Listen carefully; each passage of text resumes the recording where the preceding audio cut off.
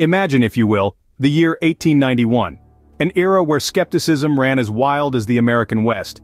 In a bid to prove a point, the US Army takes a drastic measure.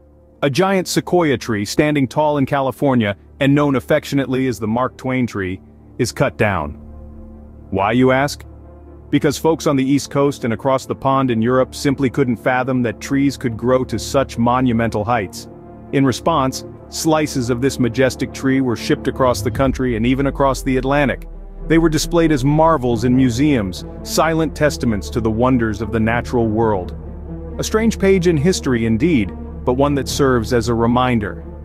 Nature's wonders are often beyond our wildest imaginations, a 60-second loop of time, a single slice of the weird and wonderful world we live in,